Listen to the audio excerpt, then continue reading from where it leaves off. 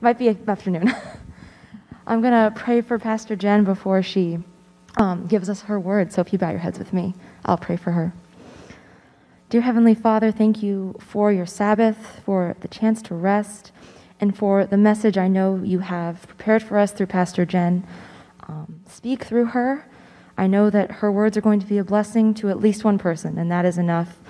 Um, open everyone's ears, give us receptive hearts, um, and thank you in advance for what you're going to do through her. Um, we love you. In Jesus' name, amen.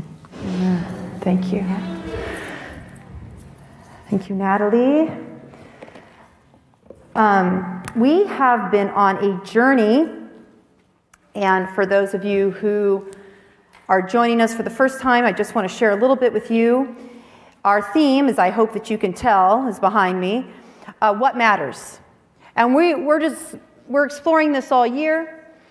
Our first focus was what matters to God. The authoritative message of the Messiah, the Sermon on the Mount.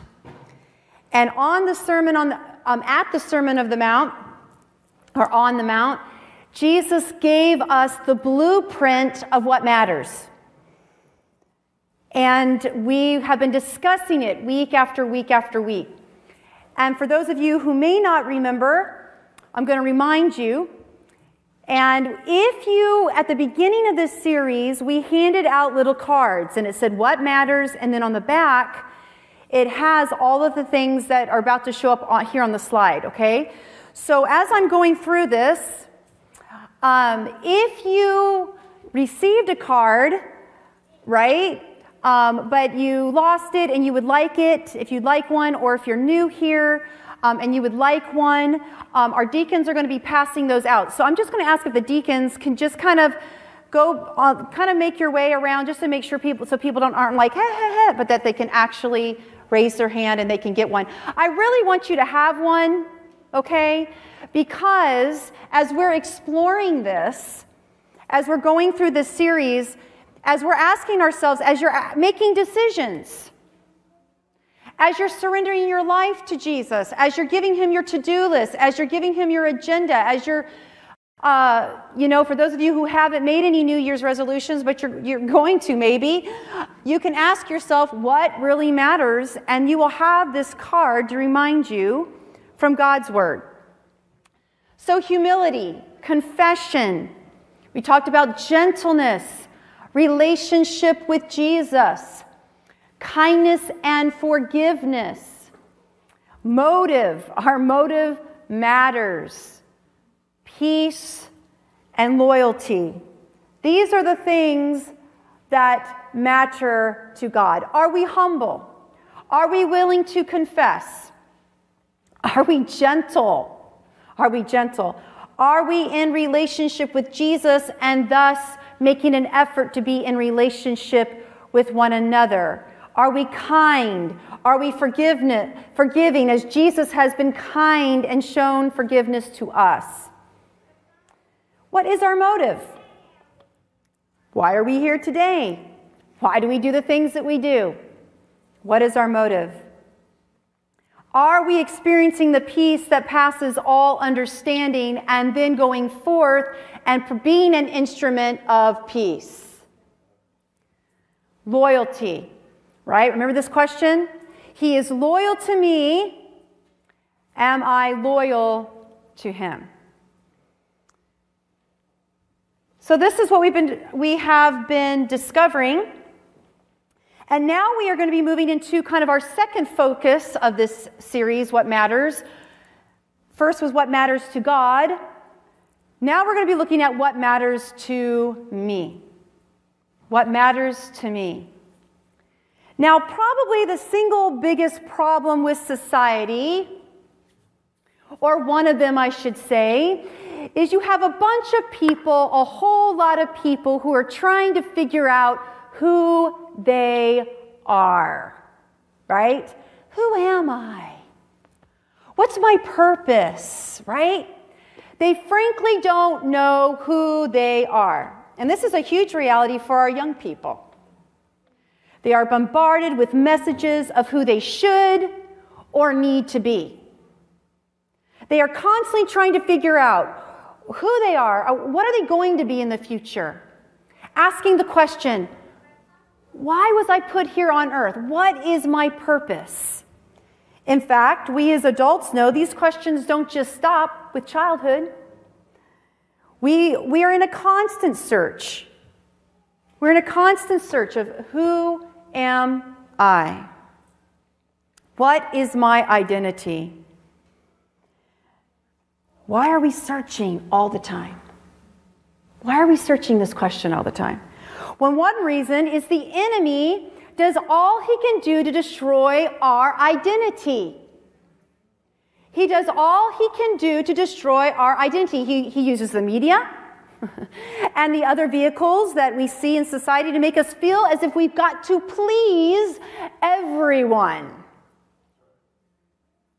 We've got to please everyone. I need to do this because of my parents. My parents want this. This, is, this will be for my parents. I need to do this for my friends. I need to be this way for my boss. I need to be this way for society, on and on and on and on and on. And one reason we fall into the disease to please so easily is because we see what happens to those Let's be real. We see what happens to those who make a stand for what they believe in. We see what happens to those who put their identity in something other than what everyone else is asking for. They get called weird. They become outcasts. They, be, they, get, they get called fanatics. They get hated on in social media. I mean, I was, I was shocked, saddened at some of the responses of our brothers and sisters in Jesus Christ if you had a different opinion on social media. It's crazy.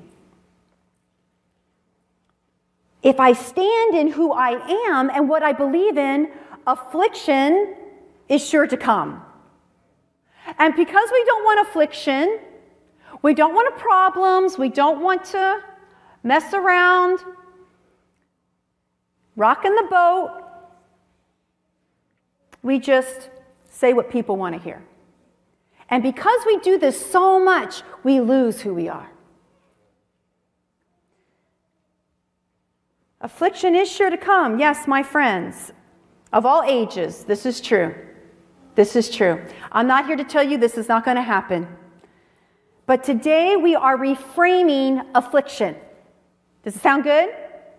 Sounds good to me. We're going to reframe affliction. But before we do that, I need to give you some good news. Some good news. You need to know who you are. You need to know who you are. We've got to set the foundation. No more searching, no more dropping out of school to find your way, to find myself. No more. No more allowing your friends or the people around you to give you your identity. No more, no more shifting around like a chameleon depending on who you're around, changing your opinion for who you're around. So, are you ready for your identity? Because I'm going to tell you, thank you, Corey, but I was supposed to say it, not you. I'm kidding, Corey. Thank you for saying it. Yes, this is who you are. You are a child of God. You are a child of God the creator of the universe. And if I see one teenager rolling their eyes at that answer, I'm going to come and knock you upside the head.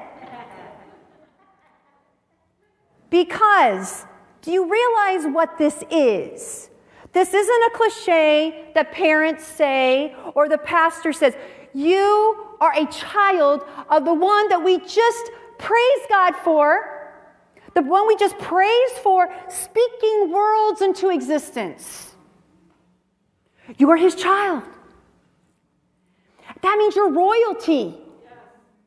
You're royalty. You're a prince, you're a princess, you're a king, you're a queen.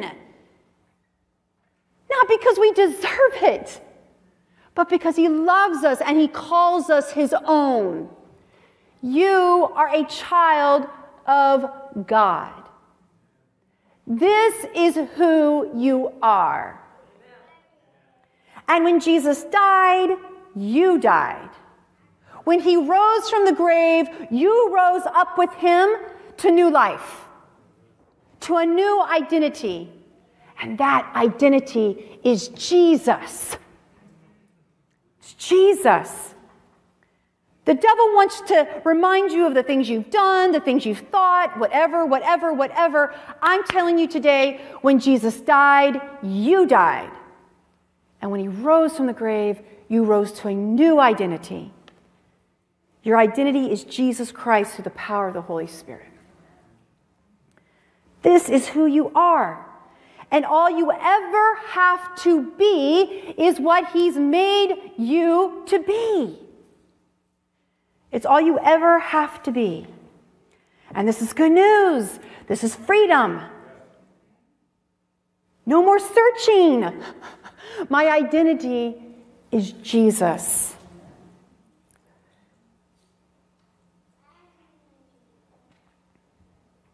And my friends, if you identify with Christ, the world will never identify with you. You hear me? So, all this trying to please the world, this is why you're in such conflict.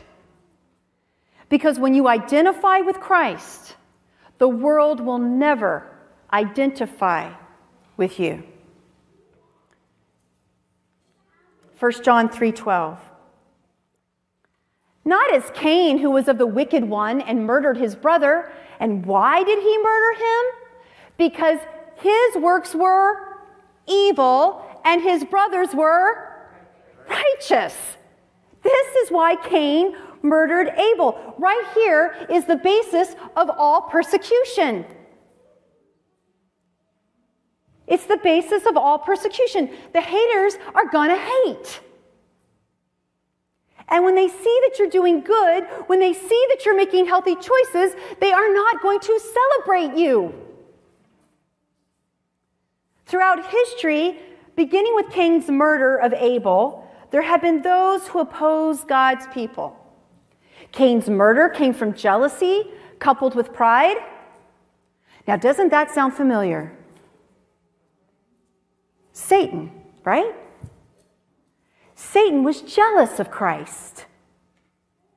And this was coupled with his pride. That pride snuck into his heart. That jealousy snuck into his heart. This is what will drive humanity's hatred towards you when you're growing in Jesus Christ. Matthew 5 11 through 12, our scripture for today. Blessed are you when they revile and persecute you and say all kinds of evil against you falsely for my sake.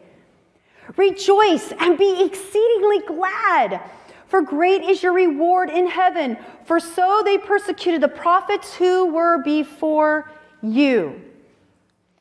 Knowing our identification with Christ means hatred from the world this gives us a clear perspective on our trials. We don't stand there and go, Why me? When we see, when we see these verses, we can see very clearly that if we identify with Jesus Christ, there is going to be hatred from the world. But when we understand this concept, guys, it gives us a clear perspective of our trials. Because how was Christ treated? Going to ask it again. It gives us a clear perspective on our trials because how was Christ treated? Ellen White says this look at this quote. There was never one who walked among men more cruelly slandered than the Son of Man. He was derided and mocked because of his unswerving obedience to the principles of God's holy law. Mount of blessing. Nobody's been slandered like Jesus was slandered. No one among men was more cruelly treated than our Jesus. He knows, he understands. Members of Jesus' family hated him and did not believe him. The religious leaders of the people he loved, they were jealous and they wanted him dead.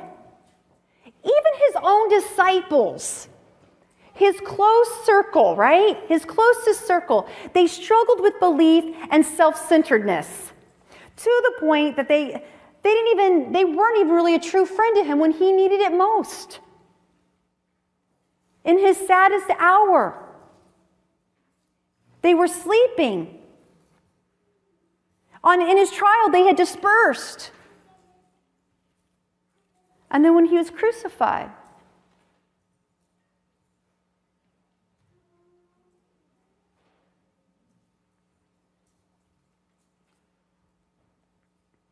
So, why would we, his followers, why would we, his disciples, expect less?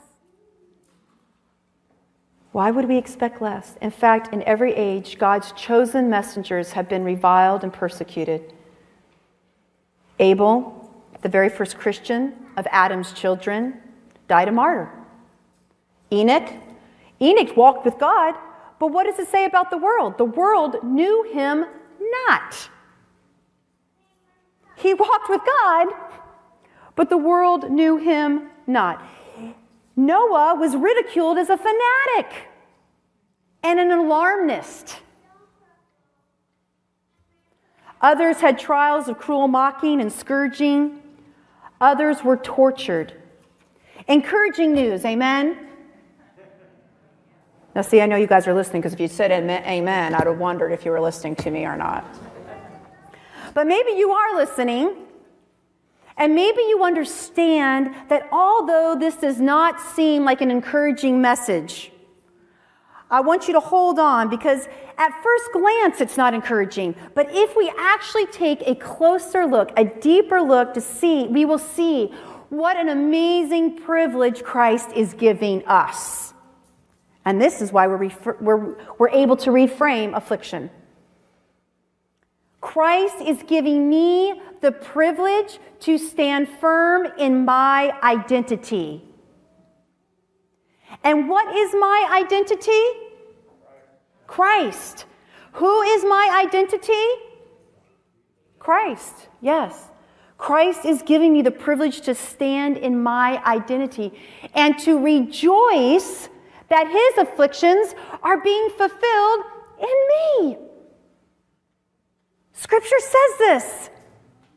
His afflictions are being fulfilled in me. Now I rejoice in my suffering for your sake. For in my flesh I do my share on behalf of his body, the church, which is filling up the lack of Christ's afflictions. Now, let's be clear. This can be a confusing verse. Uh, this text does not imply that there is a deficiency in Christ's anointing, death, and suffering on the cross. Not at all. This would contradict Paul's intent, his whole intent for the letter to the Colossians. This would contradict the whole Bible. All right? Christ's sufferings are sufficient. Amen? They are sufficient, and nothing of one's own can be added to secure salvation. All right. What was lacking? What was lacking in Christ's afflictions was the future suffering. That's what it's talking about. The future suffering of all who, like Paul, will be called to experience affliction for the sake of the gospel. In other words, when we are persecuted for Christ, when we are persecuted for his sake, we continue to proclaim the gospel. We continue to further the gospel The gospel, the gospel becomes brighter through our afflictions. Do you see this? I can say that I delight in filling up what is lacking in Christ's afflictions.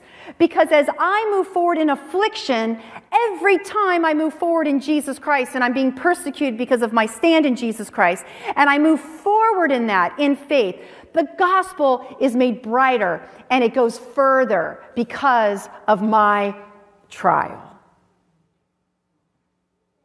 Makes you look at affliction a little differently.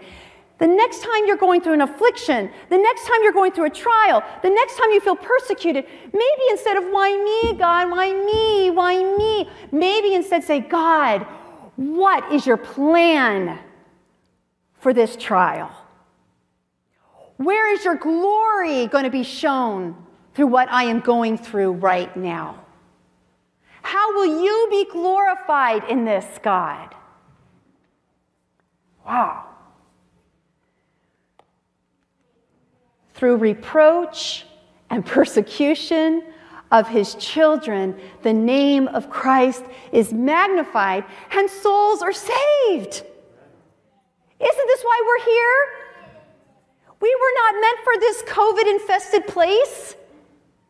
We weren't.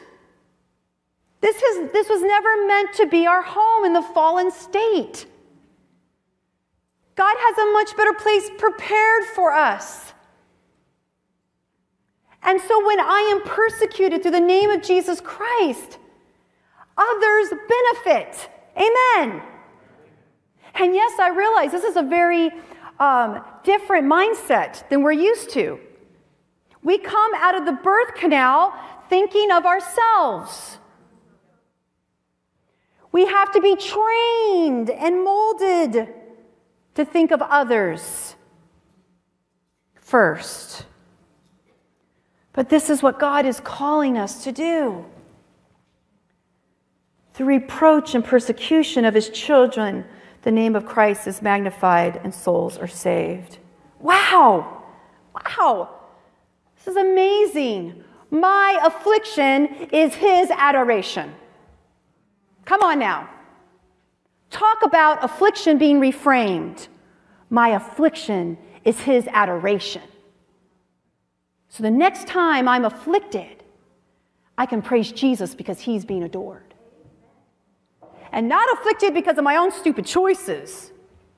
That's just cause and effect. but when I'm afflicted because I'm taking my stand and my identity in Jesus Christ, he is adored. I want to tell you an exciting story. I'm not going to do it justice, so if you want to hear it from the author of the person it happened to, uh, you can check it out on the uh, North Pacific Union uh, Conference, our union's uh, Facebook page, Northwest Adventists. They've been doing a 10 days of um, prayer revival. And the first speaker, and some of you guys heard this story already, who was at our first um, 10 days of prayer, but the first speaker was uh, Pavel Goia. And he tells the story, and I'm telling you guys, it rocked my world. Um, it, I mean, it brought tears to my eyes, and I had to share it with you today because it is just so to the point of our affliction being his adoration. He was, he's Romanian. Um, he was serving in the Romanian army, I should say. And he's an elderly uh, gentleman um, not too elderly. I better be careful. He could be, he's not watching this, but you're not elderly if you're watching. Um, anyway, but he, he was serving in this, the army and he was brilliant. You know, I, I'm, those are my words. He did not say that he was brilliant himself. I'm saying it. I mean, he was physics, he was brilliant in math and all these things. And so he went to work in the army and um, for this communist, for the communists, and he was, you know, serving his country and as he was serving his country, they noticed that he didn't work on Sabbath. And so uh, one of his comrades, you know, noticed that he wasn't working on Sabbath, and they said, they said, Goia, You're going to get in trouble. You're going to get in trouble. Why don't, why don't you work on, why don't you have to work on Sabbath? And he says, Well, I don't work on Sabbath because I love, I love my country. I love my people. I'm happy to serve the army, but my God comes first. My God comes first. They're like, Oh, you're going to get in trouble.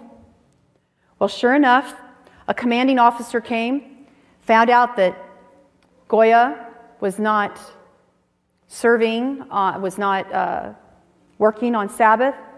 And he said, Goia, do you realize, do you realize that if you defy me, if you defy me before the whole regiment, that automatically gets you into 40 years of prison, if not executed?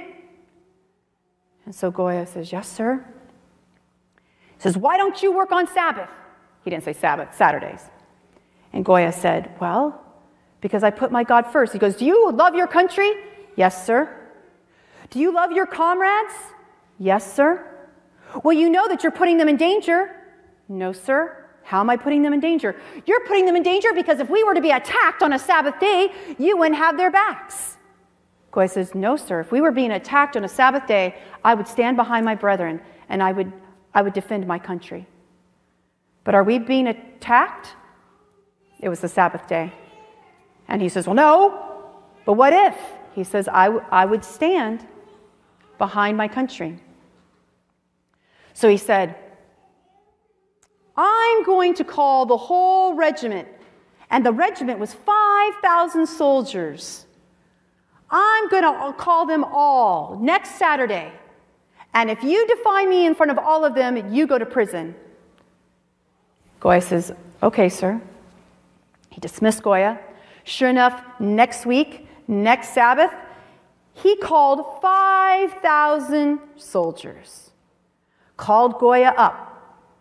It was the Sabbath day, and he said, Goia, dig me a ditch.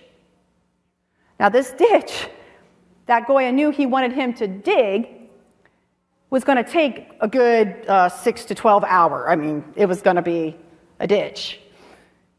And so he said, No, sir, I, I won't work on the Sabbath. He goes, Goia, we're being attacked. The planes are coming. You need to dig that ditch for you and your comrades to fall into the ditch and be saved. Goia looks up. He looks around. He goes, I don't see the planes. He goes, I don't see that we're being attacked. And the commanding officer is getting more and more red in the face. And he says, Pretend, imagine. And Goia says, Well, imagine I dug the ditch. this guy was pretty brave, that's all I have to say. Oh, that made this guy furious. You could see the steam coming out of his ears. He says, You have defied me in front of 5,000 soldiers. You are going to prison. Well, Goia left the stage and immediately went to this warehouse that he had been working in. And he shut the doors and he got on his knees and he starts saying, Jesus, Jesus, I don't want to go to prison. I don't want to go to prison, God. I want to be sure. I want to be your servant. I want to put you first, but I don't want to go to prison. And he said, all of a sudden, he just could. It's like he couldn't pray anymore. And he, and he didn't have peace about what he was praying. And it's as if the Holy Spirit just came over him. And Goia started asking himself this, this question well, why not? If you're number one in my life, God, if you're 100% number one in my life, why wouldn't I be okay going to prison for you? And he realized for the first time that his prayers so often were God, save me from this and I'll serve you. Do this for me and I'll serve you. Look, God, I've been faithful to you, so therefore take care of this problem. And instead, Goia said he just, he just loosened his hands. He said, God, you know I don't want to go to prison. And I ask you to save me from that, but God, even more. If you want me to go to prison, I'm going to go. And I will go faithfully and serve you because I know you'll have a purpose in that prison. Because I want your will more than I want my will. And he said, as soon as he surrendered that, as soon as he surrendered that, a peace came over him like he could not explain. He wasn't nervous anymore if he was going to prison.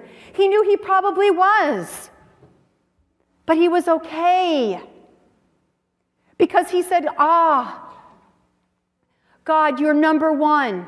And if you are number one, then no matter where I go, you will be with me. He was willing to turn his affliction into God's adoration. And so he so as he was as he was kneeling, he gets this knock on the warehouse door. And Goia is very nervous, right? He opens up the door to one of his comrades. He says, Do you know Sergeant Captain such and such? I don't know what his name was. But it was like this high, high, high guy up. In fact, he was kind of under the president a few notches. I mean, this was a top dog. He goes, Do you know him? Goia says, No. His comrade says, You must know him. Goia says, No, I don't know him. I swear on my life, I don't know the man. He says, Well, he came to the to the um, the grounds today. He came on this campus today. He does these random checks. Does these random checks, and he chose our compound to check today. And he came and he gathered us all together while you were here in the warehouse, and he said, he said, Two years ago, you guys asked me for money because this was broken, this was broken, this was broken, and I didn't give you any money. But I'm now here on this compound and I see that these things are fixed. Who fixed the fence? They said, Goia. Hmm. Who fixed the roof? Goia. Did you pay him? No, he just saw that it needed to be done and he's skilled, and so he did it. He said, Hmm, who put in the art in the museum? Who made the beautiful glass to go over all the artifacts and put, put uh, fabric over it so it doesn't, you know, get scratched? Who did that? Goia. He's very skilled in glass. And he starts asking all these things. Goia, Goia. He says, Well, how has this man, how has this man been rewarded? Well, he just got sentenced to prison for 40 years. He says, What? He says, You mark my words. No one touches Goia. And whoever tries to touch Goia, he will go to prison for 40 years. Goia served the rest of his time in the army untouched. He could keep his Sabbaths, he could continue to serve his country. And yes, this, this story of Pavel Goia, it turned out good. His faithfulness was rewarded. But Goia had come to the conclusion that even if it didn't turn out the way he wanted, he was going to be at peace. He was going to be at peace. While slander may blacken the reputation, it cannot stain the character that is in God's keeping. A man whose heart is stayed upon God is just the same in the hour of the most afflicting trials and most discouraging surroundings as when he was in prosperity. When the light and favor of God seemed to be upon him. Do we act this way, brothers and sisters? Do we act the same? Do we believe the same? Accepting Jesus as our Lord and Savior, it forever changes our identity.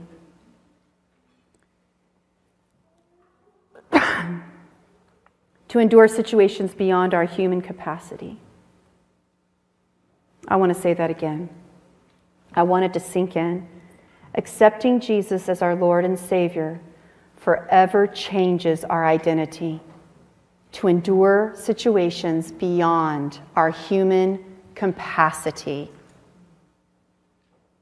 We don't have to fear. We don't have to worry. I was a part of a small group Bible study when I was planting a church in Seattle, a part of a team that was planting a church in Seattle. And at the end of this um, study. Tammy, would you grab my water right there and bring it to me, hun? I don't, because my I have a tickle in my throat. Um, when I was in this this Bible study, this, we were coming to the end of it. Thank you. We were coming to the end of it, and we were kind of making decisions like, oh, yes, we want to be all in. And she stood up and she says, I don't want to be all in. It's just too great a cost. She goes, I know, because this Bible says so. We've read it together that whoever loves Jesus is going to be hated by the world. And I don't want to be hated by the world. I don't want it. And I do love Jesus. I want to follow him, but I, am not ready. I don't, I don't want to be hated by the world. So I'm out. And we're all sitting there like, hmm. Well, man, at least she's honest. Because we are all, you know, you, you kind of think about this. This is this you're like, well, I don't I want Jesus, but I don't know if I want all that. We prayed over her and we prayed for her, and at the end she's like, no. It's not worth the sacrifice. Now I don't know where she is today. I don't know if Holy Spirit kept working on her heart. I pray that he did and she changed her mind. But she gave up at that moment. I'm not I'm not projecting her future, but at that moment, she was giving up really everything to gain nothing. I mean, really. Has there been one thing in this world that you've gained that has lasted you forever? That hasn't broken down, disappointed, fallen short? Accepting Jesus as our Lord and Savior forever, it changes us.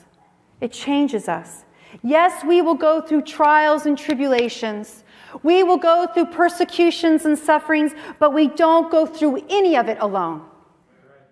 None of it do we walk through alone. And what we gain, and what we gain, and what it gains for the gospel, it surpasses all the temporary, momentary pain.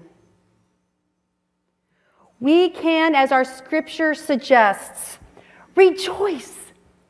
Rejoice Rejoice and be exceedingly glad. Why? For great is your reward in heaven. But, guys, I'm telling you here right now, but great is also your reward on earth, here and now. The reward of walking in the steps of Jesus, going through what he went through, but with him by your side, giving you strength as through your trials you grow closer and closer with Him. There's a song that talks about the thief on the cross saying to Jesus, How fair is it? All right? Or people looking on to looking on to the scene of the thief of the cross, when the scene of the cross, when the thief says, Jesus, save me. I want to be in your kingdom. And Jesus says, right? I tell you, this very day you're going to be in the kingdom with me. And people looking at that going, How in the world is that fair? I've journeyed with Jesus all my life, and that dude gets to confess right before he dies and makes it. And the song goes on to say, No, you got it all wrong. Blessed is he who had the privilege of walking with Jesus for that long a time, for seeing the blessings every day.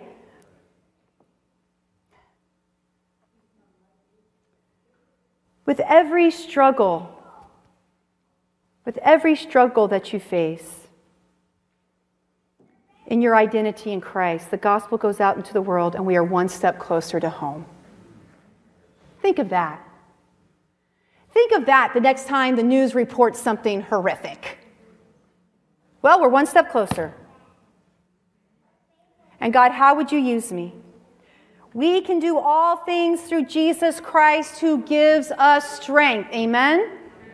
And in Christ alone, in Christ alone, our afflictions become his adoration.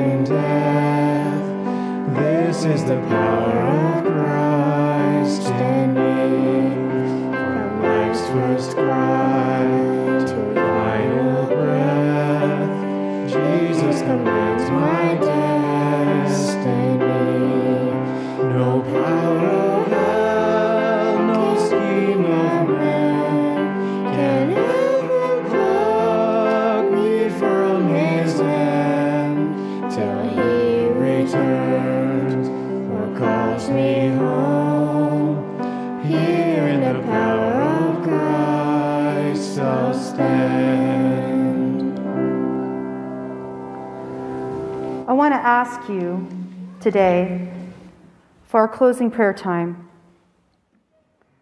I want you to pray for the person next to you.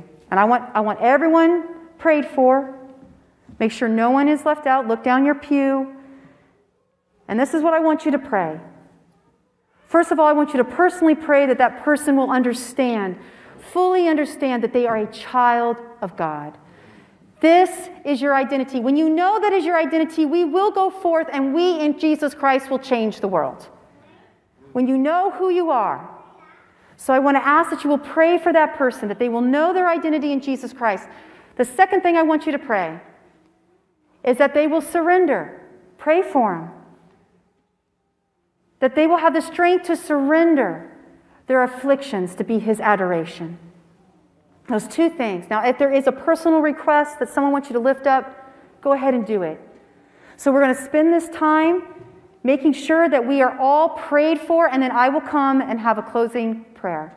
All right, so spend this time right now. Please find someone next to you and ask and pray for them. All right? Can I pray for you guys?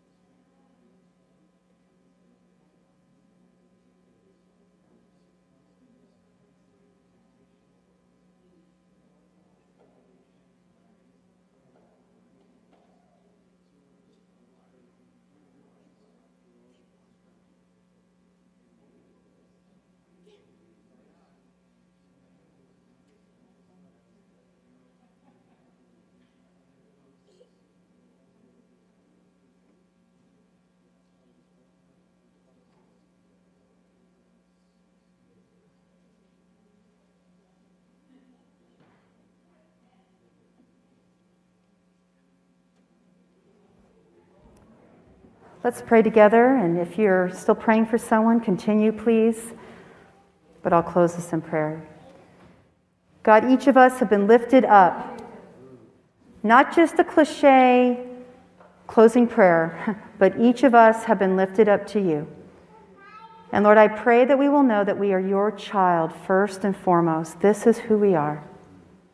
And God, in your strength, in your strength, may we surrender our afflictions to you so that you may be adored, you may be praised, and your gospel may be completed throughout the earth. We love you, Jesus. We thank you so much for all that you endured for us.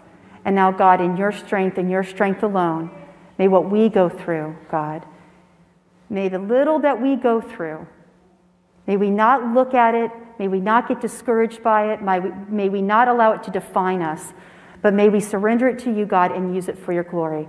This is our prayer, Jesus, and we thank you and praise you for what you have done, what you are going to do, and what you will, you will continue day by day as we surrender these things to you. We praise you, God. Praise you, and we thank you in your heavenly name. Amen. Happy Sabbath to each and every one of you. So excited that um, you've joined us today. You'll be dismissed by our deacons, and I look forward to meeting you out there in the foyer. Please stop by and say hi if I have not met you. God bless. Happy Sabbath.